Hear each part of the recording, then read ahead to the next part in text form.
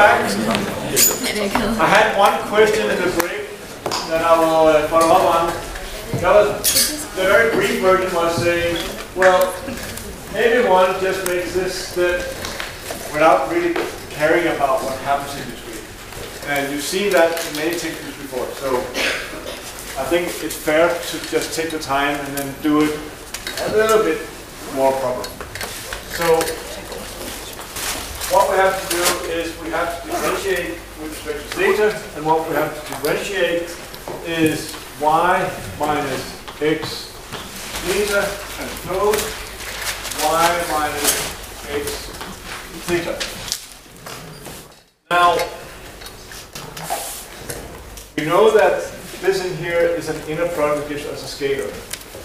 Keep that in mind when we move forward.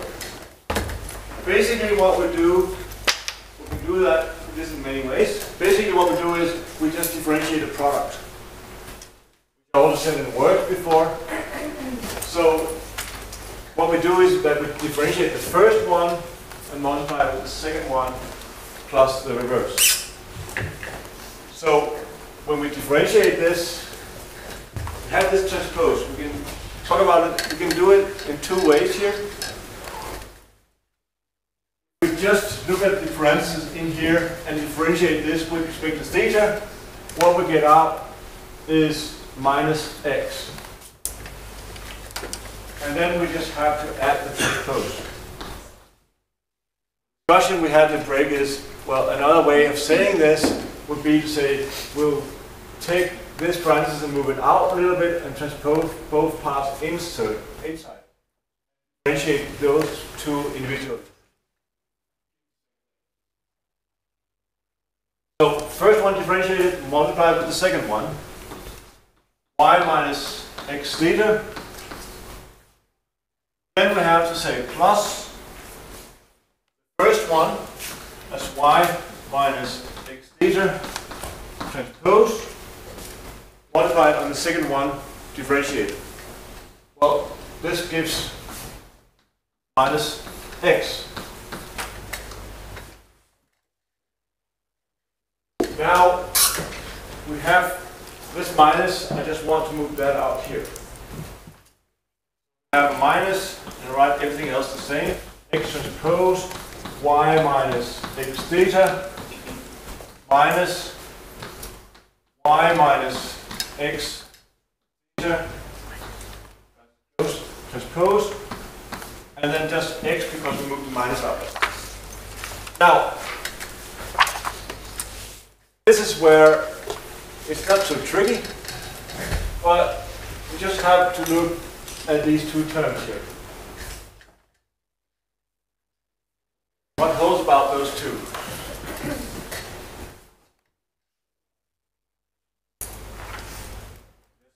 They're identical. They are actually not identical. But it's the transpose. There you are. Wrong in the break. They're not actually scalars. Have to read it with respect to theta. What we get out is a vector. But you can see that this element here is equal to this one transpose. But if you transpose this, then you shift the order of the elements, goes the paths. So that is that moves first, it gets transposed. So numerically it's the same. It is the same values that are there. So therefore if they're the same, we can pick either order. And what I just did over there is to just write minus 2 x y minus x. That part is to kind of realize that those are actually the same. So that's that's the missing link from before. So now we will move on to what's called weighted least squares. This is just almost the same story. We have the same model as such. The only thing that would change is, well, we'll keep the expected value of the epsilon to be zero, and the variance, the covariance matrix is now different.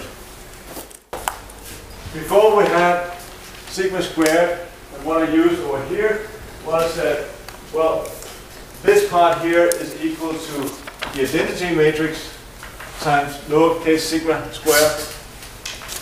Now we will say that we can have another matrix here, not the identity matrix. Basically, what we then want to minimize, but we should it's known. We want to minimize where we add inverse inside here. Now, if we differentiate this one, now I'll just do the very fast notation here. Then that doesn't have anything to do with data. So in all differentiation and so forth, it's invariant. So it moves down here. That also means that it gets into both terms down here. So we have a sigma inverse inserted those two places. Then I probably just have to keep them there. And again, finally down here, if you look at it carefully, everywhere there is an X transpose, it's followed by a sigma inverse. There, there, there, there, there, there, everywhere. That's one way of keeping control of that. So I won't go through the whole calculation because it's effectively the same except for just writing sigma inverse inside everywhere. So to minimize this, well, the solution is parallel to before. We just have the sigma inverse after each X transpose here. And again, we need X transpose sigma inverse X to be invertible. It's just X transpose X, but now with the weights, it still needs to be invertible. And an estimate of sigma square is parallel to before.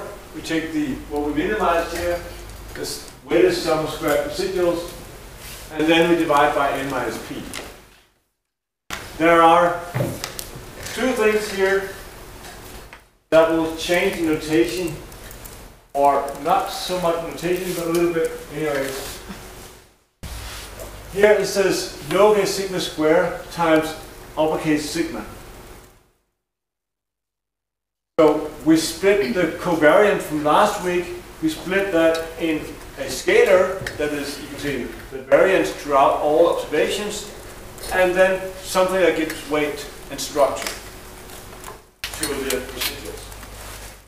Last week we just had a sigma that was the covariance.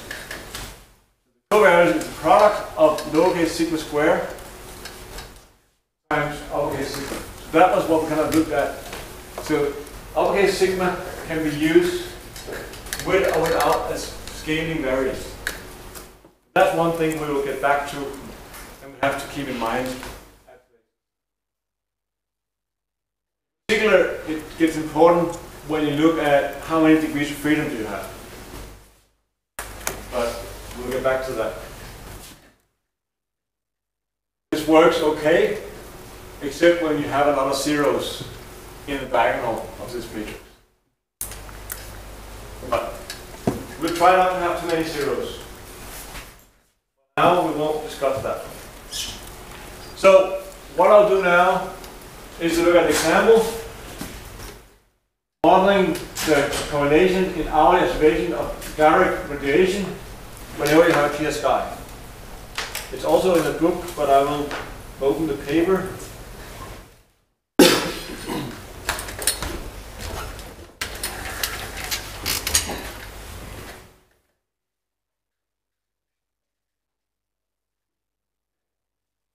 so this is the data that we have. We have the solar elevation degree, Well, we know sunrise and then some point it gets down again. And when they have what is the power from the direct radiation. And then in here, the full drawn line here is the final model that we'll get to in a moment. And then there are dots connected corresponding to particular days. And what to observe here is that when you look at these particular days, it goes up and down following a line that is close to the fit, following the same shape somehow, which is not unexpected. But on the other hand, what we also observe is, well, particularly very clear from the 1968 case here is, well, the residuals tend to have the same sign. So they are not independent. Which means that the variance that we see here maybe is appearing larger than it actually is to some extent. Because whenever something is off, it stays off. And other thing to notice, I don't know how many linear models you have made, hmm. but there's one more thing here that is not how we would want things to be. Now I mentioned the correlations. So they're not independent.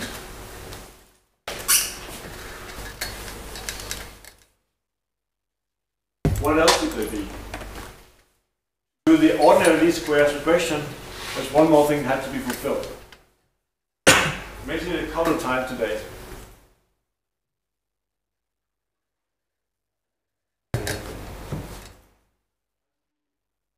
Independently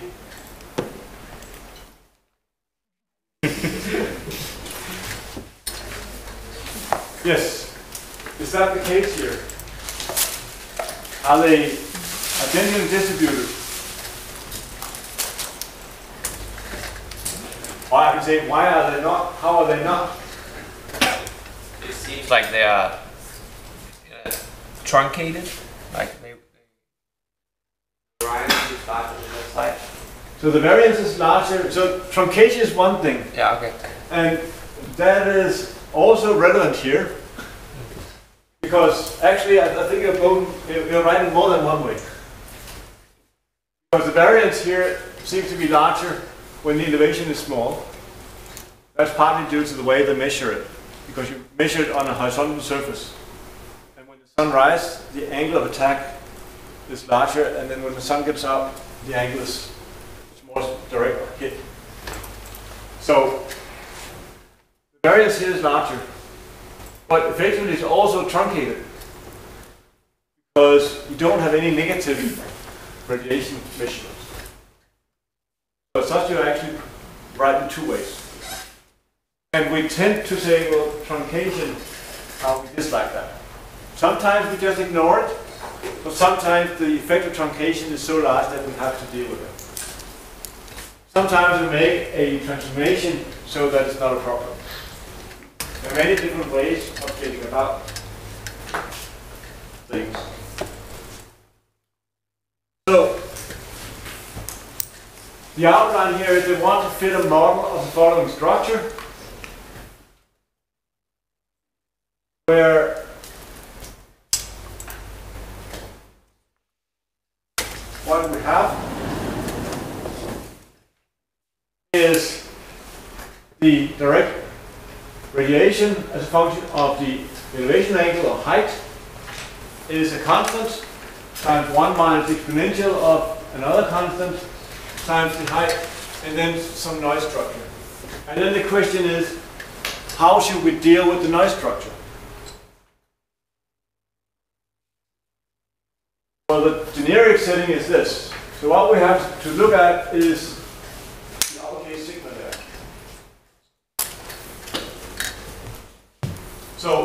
naive approach, what we've done many times by now, is to just say, well, that's the identity matrix. But we saw that there is correlation. So we could also do a model where we say that, well, we have rho, which is some constant between 0 and 1. And then we say, what is the time difference? The closer in time we are, the higher is the correlation. So if rho is say 0.9, that means if you're one observation apart, the correlation is 0.9. If you're two, you're 9 squared, 0.9 squared, and so forth. So it just drops exponentially.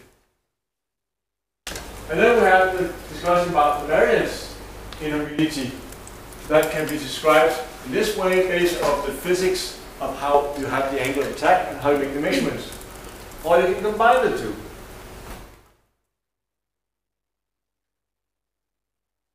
Various reasons, you can kind of look at all of them.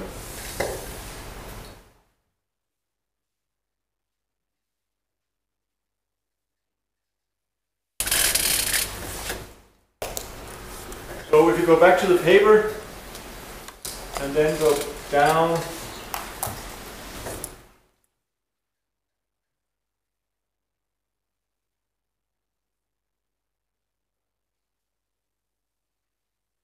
estimates down here, those are actually the structures that we have over there.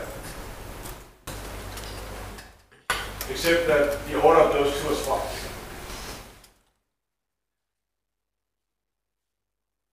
Now, what we look at here are the estimates. What we really care about is the A, what is the level that we can get up to, and the B, that is the shape of the curve. And if we just do the, naive assumption of IID, when you do the estimate, you get, say, almost 800. When you include some structure, the level actually increases. So the estimated peak radiation increase depending on the variance structure. But what I think is also interesting is the uncertainty, the variance that is given down here, or standard deviation, sorry, is also changed quite a bit. It's lower when you only have the variance kind structure, when you include the correla- correlation structure, as mentioned before, then you don't have, effectively, you just have every day have an observation because they are correlated. So you don't have 10 observations one day. You have maybe, say, two or three effective observations because of the correlation. That's one thing. And the estimate of B, that is the slope, also changes from 800 to 600 parts. So that's actually, I mean, a fairly large change. But the biggest change is on the estimate of sigma squared. It changes by more than a factor of 10.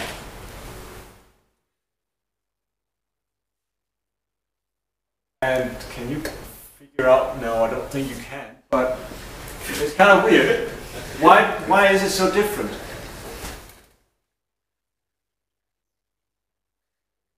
You would not expect that, right? You would expect everything to be so order of magnitude, but better and better and better the further you get down to the more complex models. But let's just look at what happens here. When you include the variance structure, and only the variance structure, then you get a marked reduction. When you then take the correlation structure instead of the variance structure, then you have, again, a large estimate.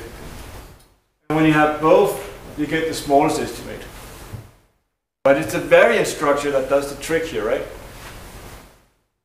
Let's get back and look at what the variance structure is. 1 divided by the sine of the angle at some point in time times the sine at the angle at a different point in time. Now, what values do we get here?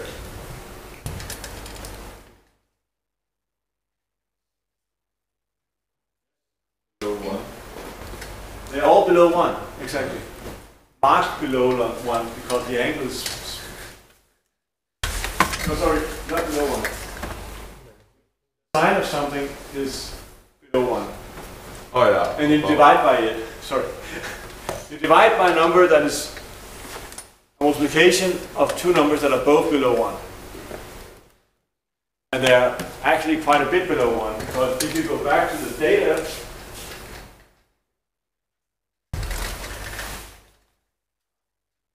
the angle doesn't get much above, say, 55 degrees. So we are definitely far from sine or something to be 1. We have a lot of factors there. That's the reason why you have a scalar, when you, when you multiply with something that is greater than 1, of course then the estimate of the sigma there has to compensate for that. So think of that. If you look at the correlation structure there, and if you look at the correlation with yourself, that's rho to the zero power, which is 1. So only using the correlation structure, you have something where the diagonal is a sequence of ones, but when you have the variance part here, the diagonal becomes a sequence of numbers that are all greater than 1. When the angle is close to 0, it's much greater than 1. So that is the reason why those numbers out there just change dramatically. That's the reason why we actually cannot use those to say which one is better. But we can see that the data, the, the model, both components included, gives a good description. How should we pick which model is better? Pick that based on how well the model fulfills the assumptions. Not due to, I like 842 more than 822. Pick the one where the assumptions for the model are fulfilled. So since we saw that we both have correlation structures and we have variance inhomogeneity, then we should pick the final model and look into the residuals of that and say, are everything as we wanted it to be?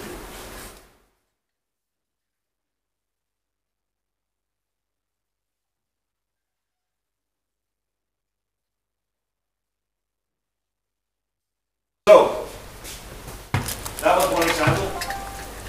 Saying a lot of things about how to do modeling. And at the end of this course, you can say, I hope I have exposed you to a lot of different kinds of data, because I know you are from different backgrounds. And whenever you go into a different field, the biggest challenge is to figure out how is this different from what I used to know. I don't know how many of you have changed subjects like from chemistry to biology to physics. Um, but whenever you go into something totally new, doing mathematical modeling, I often change something, and I like that. But you have to listen to people to figure out what is actually important in your subject. So, the last method is maximum likelihood. And I know that some of you have seen this. Basically, I will do it for the weighted case where you have structured residuals. We will again assume that the sigma is no. So that's the nice case. And the estimator of theta is exactly the same as the weighted least squares estimator. Now, how is it that the maximum likelihood work? Well, basically we have to write up the multivariate normal distribution, all the, joint density, all the observations. Write a little bit different than last week, that's why I have it here on paper. 2 pi, and then I have the sigma square in here, up to raising the n half power, and then the square root of the determinant of the structure of the residuals times the exponential of 1 minus 2 sigma square. X transpose oh sorry. I got too busy. Y minus x theta transpose and then I have the sigma inverse and then I have y minus x theta and close. So the big difference here is that last week I assumed that uppercase sigma was a full covariance matrix. Now it's just a structure, so I have pulled the um,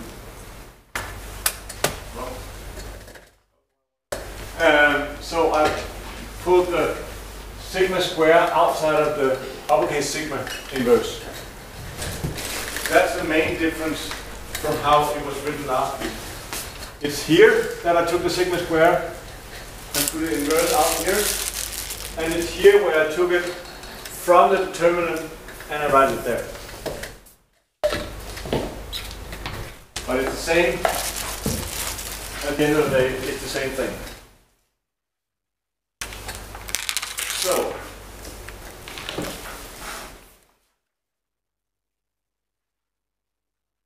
we look at the properties of the maximum likelihood estimator. Again, it's unbiased. Well, it's the same estimator as before, no big surprise. We have a variance estimator here. That is effectively the same, except that we assume log sigma squared to be known. And this is where likelihood theory is a little bit different. If we want to estimate theta and do maximum likelihood, as in we want to maximize this expression over here,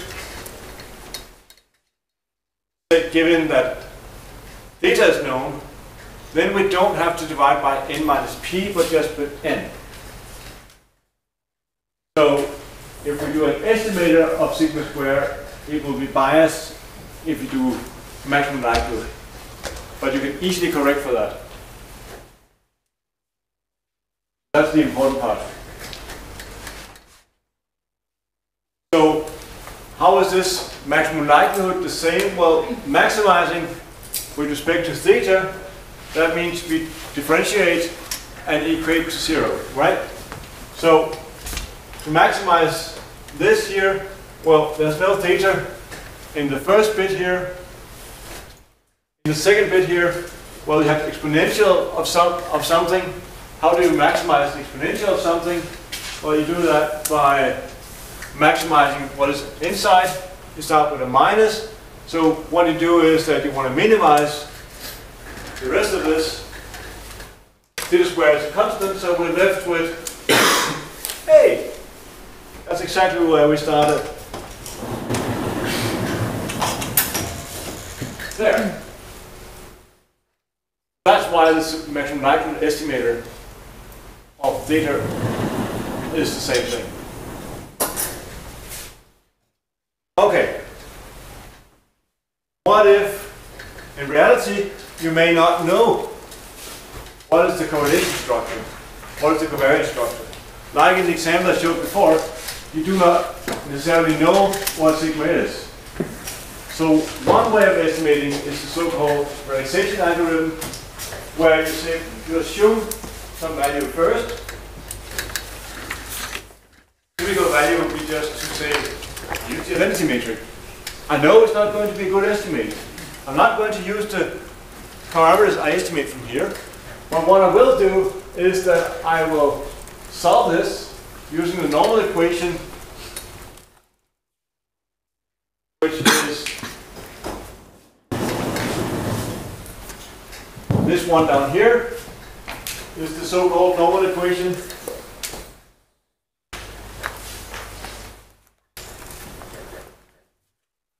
Then I will look at the residuals from that model.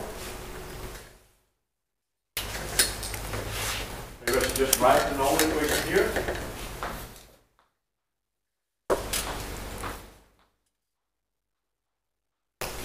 So the normal equation is x transpose x. Theta equal to x transpose y.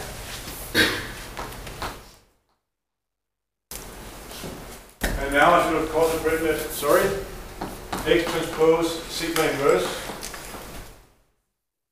x transpose sigma inverse and y. So we solve this, and then look at the residuals from the model after doing this, and then based on that, say if the residual having a correlation, then you estimate that correlation structure, and then you propose a new sigma corresponding to that. Just like in example before, if you just have that the correlation is the time difference, then you just have to estimate rho. You may have you have an n by n matrix here, but you have only one parameter. You just have to find the rho value that gives you the best match.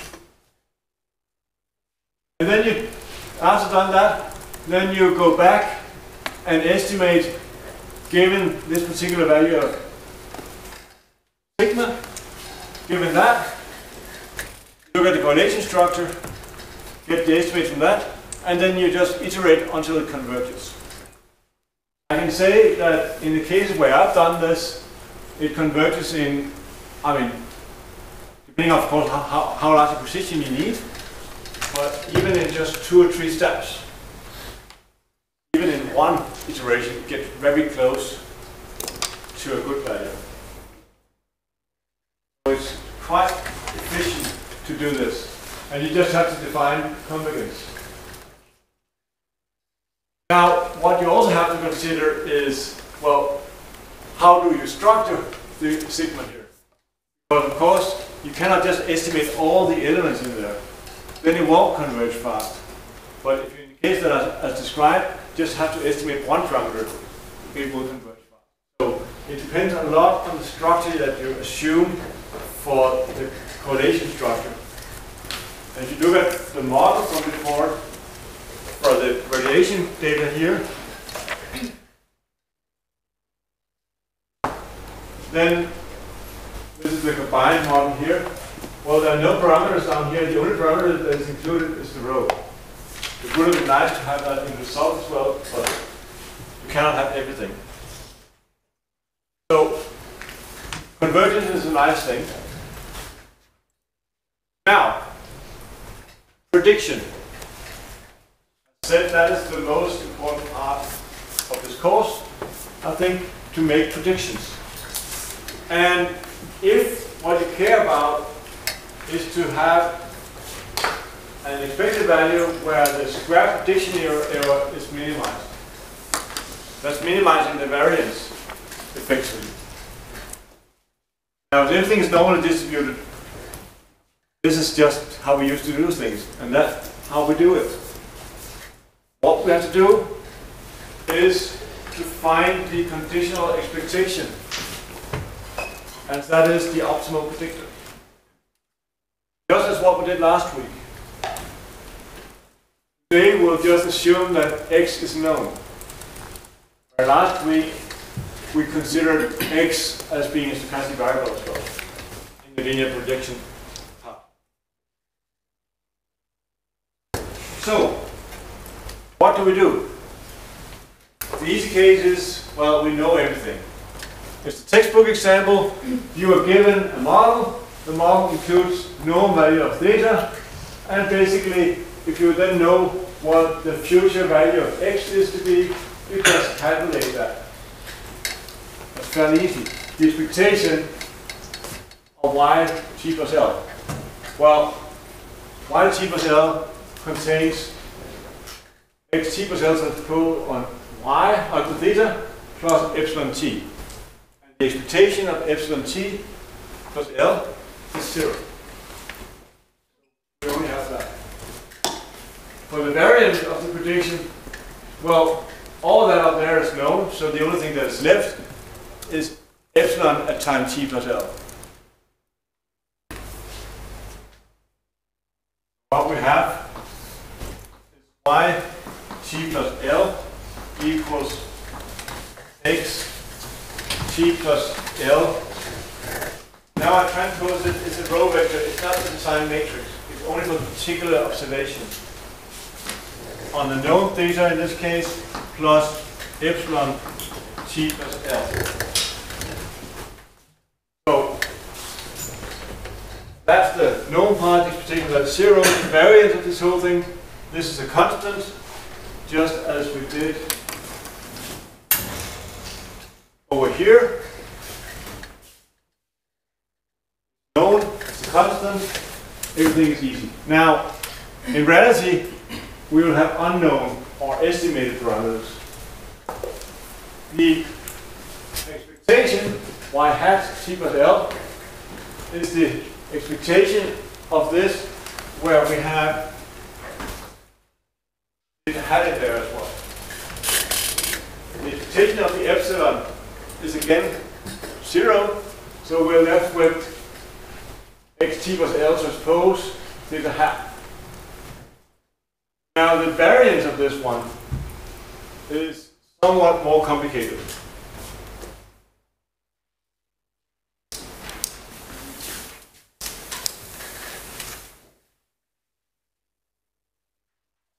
How do we get to that? There is just stated. But it's one of those that is not just obvious when you look at it. So, variance given the estimate theta hat of y t plus L minus y hat t plus L.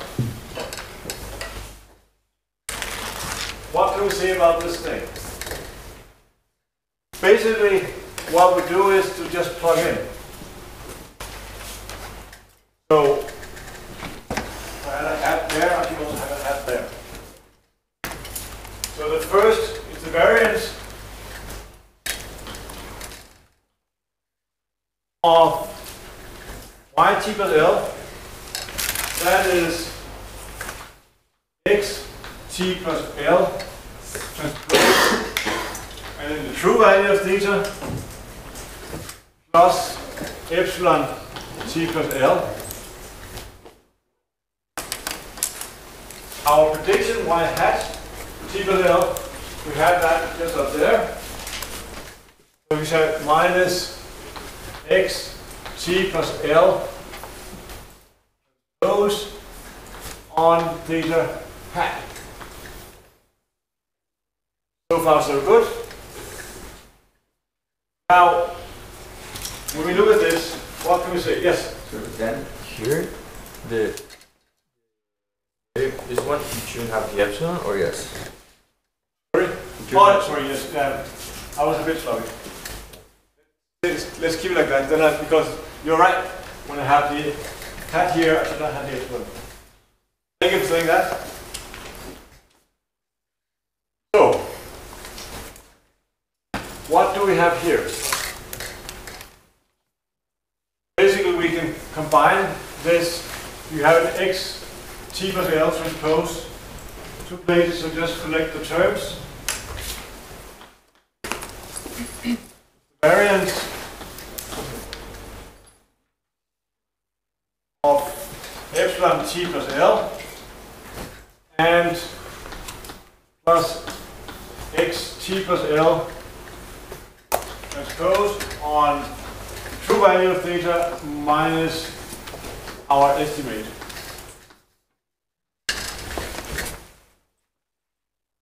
So, this future epsilon here is that dependent, correlated, or independent of what is in here.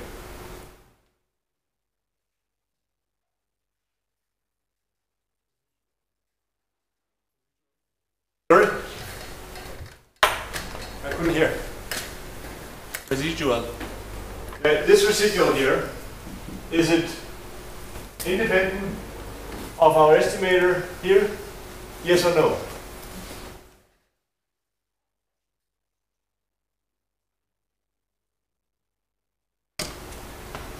This future epsilon is independently identically distributed as all the other epsilons. This observation that is going to be at yt plus L has not been used when making this estimate. Constant, that's a constant. That one is independent. So there's no covariance between this and that, which means I can split the variance. The sum of two elements. Then I have this part here, the variance of xt plus L transpose on um, theta minus hat. This one here is easy.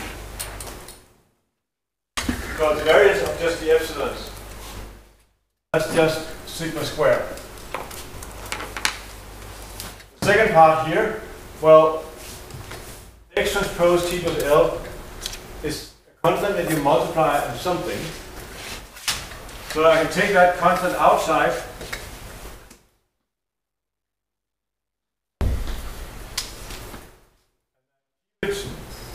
Transpose on the left hand side because that's what it was. And then I should have it on the right hand side. I should have it transposed, but that means it's without the transpose.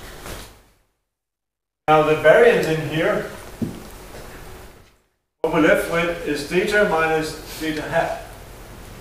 Theta is a constant. It's known. So the only thing that is left in here is the variance of theta hat.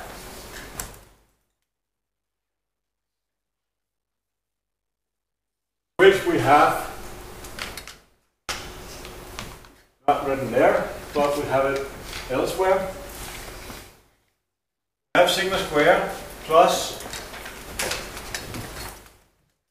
have it, for instance, down there. Or again over there. So what we have from there is a sigma square outside, and then we have an xt plus L transpose, and what we have there internally is then parentheses, and now this is the x, this is the, the sign matrix x transpose x inverse and then x t plus L and the last step is just to move sigma square outside parentheses. Get what is written there. So, what is the intuition about this? Well, you cannot get anywhere around this. There'll always be the variance that comes from the epsilon. What happens in here? Well, this is just a scaling. So, this here is the x transpose x inverse. It could be tree by tree matrix, for instance, that you inverse related to the variance. So it says something about how good are my parameters estimated. And my xt plus L is saying something about how far am I away from where these estimates are made, what it's based on. I don't know if you've seen this drawing before. Univariate linear regression setting have er some observations, you fill a straight line, and if you want to make predictions, you get prediction intervals that look sort of like this. Right? That means this is the mean value of the x. The further you get away from the mean value of x, the larger the variance. That's actually the same thing that happens from exactly this term down here. This is giving you x x. So it gives you an x squared. Why this is a parabola around this straight line. Because of the square element there. So, when we do predictions in a general linear model, practice, this is what we want to do. We want to make some prediction intervals of future values. And what we do is that we make an estimate and then we have, we take the square root of the variance, find the standard deviation of that, and then we multiply by a quantile in an appropriate t-distribution. Because in reality, all these estimates will not be based on an infinite number of observations, but n minus p degrees of freedom. That's what we have. n minus p is sufficiently large, well, then you can use the normal distribution. What is sufficiently large?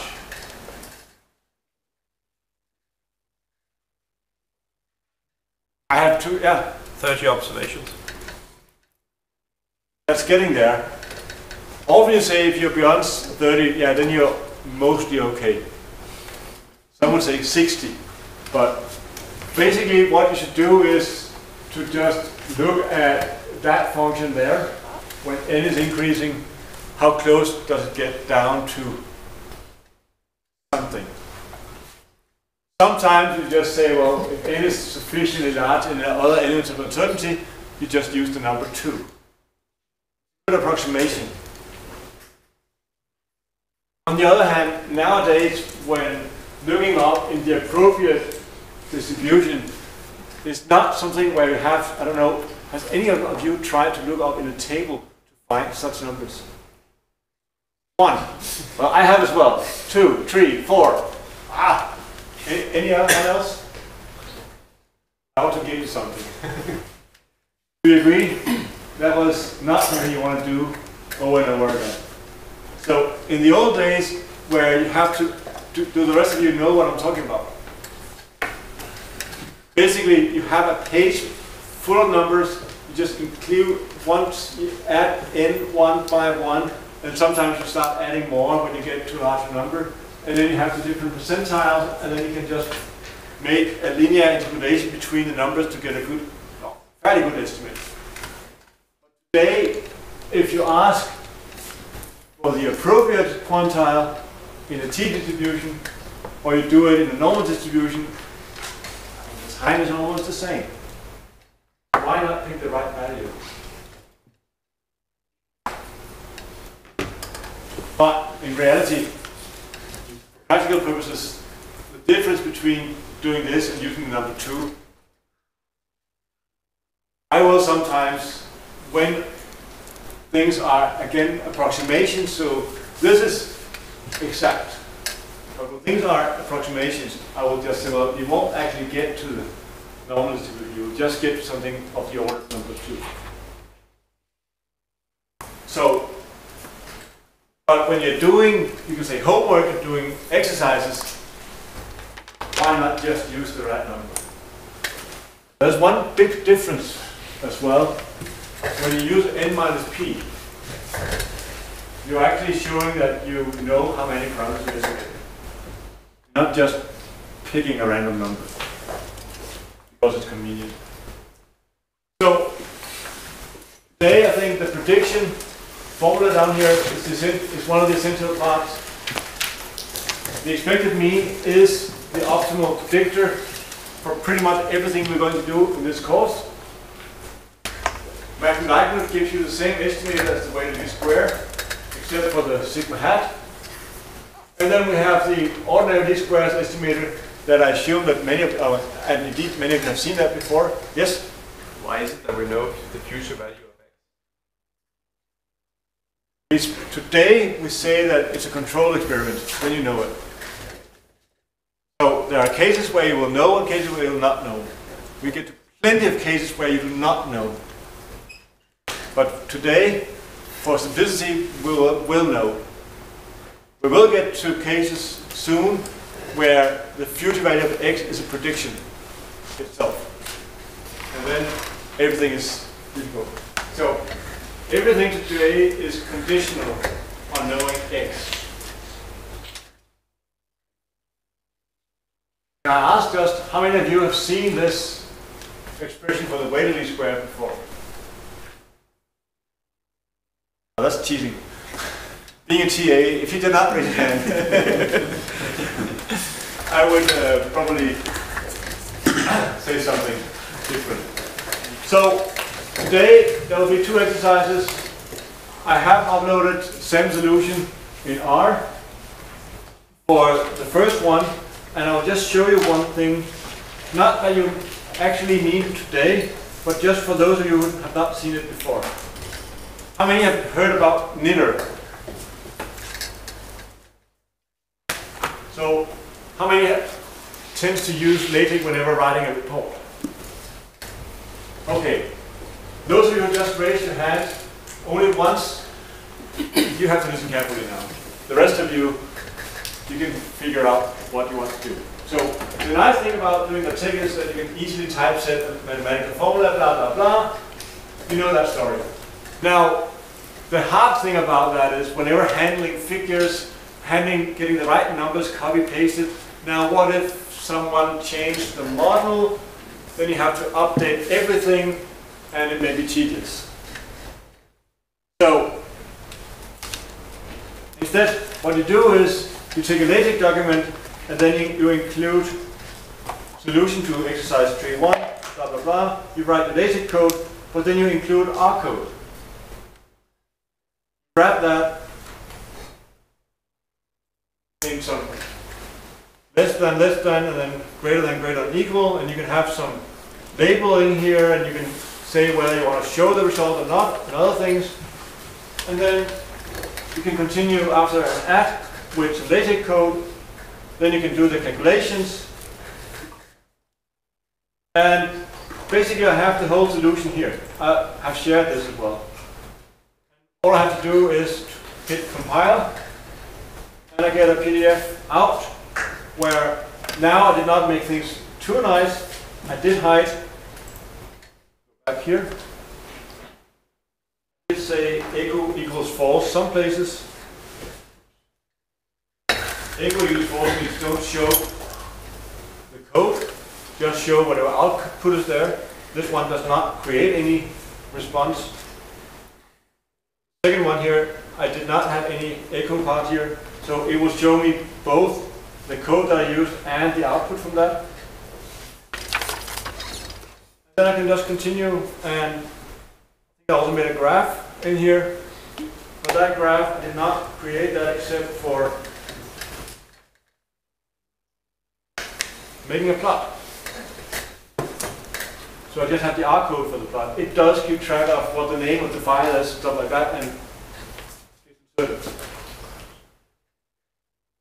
if you do things that kind of have a long calculation time, you can still do these things, you just have to keep track of caching things that you don't want to recalculate all the time. But I would say how I typically do things is that I play around with the R code and then I have my skeleton uh, knitr document, and then I can just kind of put things easily together. So when I know what I want to do code-wise, ish, then I start building things. But I will not start kind of doing all the modeling in a knitr document because then you have to compile all the time as well. Then I spend the time figuring out what is the R code. But in here, I can also just run the R code and start from the top. I can easily just, within the knitr document, just run the R code as regular R code. So, in the interest of time, particularly if you have many figures at some point, this is very efficient. Those of you who have used knitr before, do you agree? See nodding and this, so I, I take that as a yes. Um, so that was just a small advertisements, but there's no money involved. Take it from here.